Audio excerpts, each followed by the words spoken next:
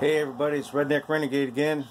Just want to share with you a couple of items I thought were pretty cool that I had picked up at the at the same secondhand store about two months apart. The first one I got yesterday. This here is a Japanese fishing gaff hook.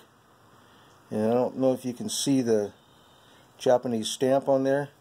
But it's pretty cool. I looked it up and most I could find about it in the shortest amount of time I looked was it's made in around uh, 1920. So it's pretty cool. It's got a high carbon steel hook. Um, very unique handle shape. Thought that was pretty awesome. I like unique items. And here we got this little L.A. Sayre, S-A-Y-R-E hatchet out of Newark, New Jersey.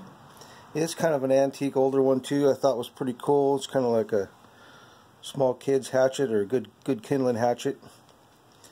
But uh, that's about all I got on that. Just wanted to show you my latest finds and uh, hope you all having a great day and uh, we'll catch you on the next one. Thank you very much.